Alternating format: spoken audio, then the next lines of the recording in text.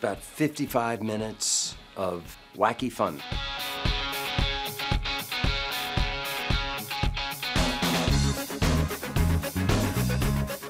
I play the senior Gallagher. The wife left a while ago before our pilot began. Took with her the minivan and all my hopes and dreams.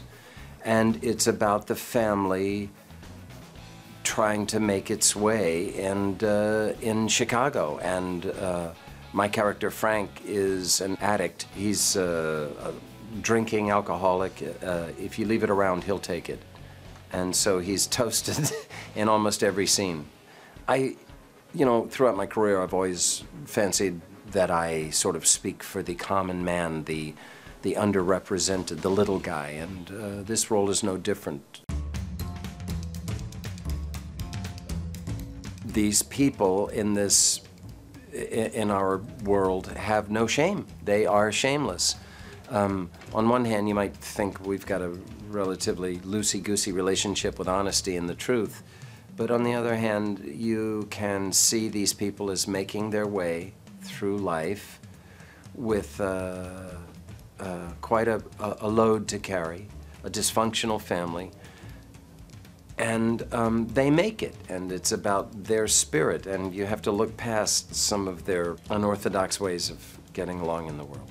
I mean, at the core of the thing, and this is what I find shocking each time we end an episode, at the core of the thing is this bizarre love of our family. It sticks together in this way that I find this series to be quite novel. I've never seen this before.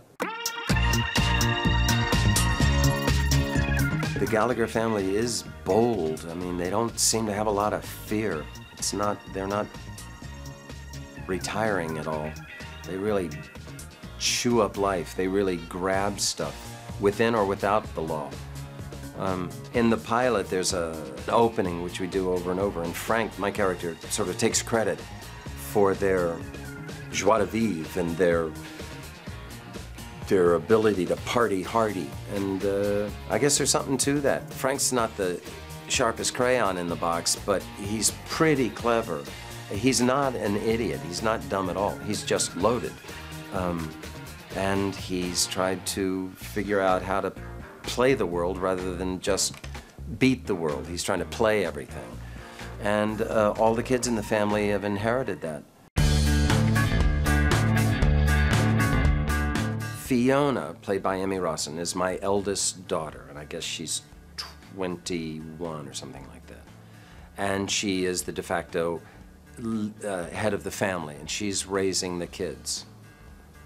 And Emmy's playing it so beautifully. There is certainly the sense that uh, that she inherited the job and is not thrilled about it, but at the same time she has taken it on fully and completely and with a degree of joy. She's an amazing character, and Emmy's just playing the bejesus out of it. Um, so she's trying to live her life as a young, vibrant, sexy 21-year-old while having five children that she has to take up, six if you include me. It's clear to me that Frank loves his, uh, his oldest daughter uh, beyond measure. Never admitted, doesn't act like it, but I can feel it that it's there. And for some strange reason, she loves Frank too. perhaps a year or two ago, I set my sights on doing TV. Um, I'm married to Felicity Huffman, and she does Desperate Housewives, and she loves her job, and uh, has loved it now for six years, loves going to work every day. She gets to act a whole lot, and I share that with her. I like to act. I actually like to act, and I wish I could do more of it. And I sort of set my sights on getting a series for myself.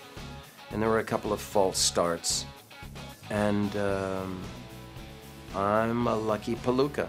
John Wells sent this to me, and uh, it took about nine seconds to decide to do it. It's the best experience I've had in a long, long, long, long, long time.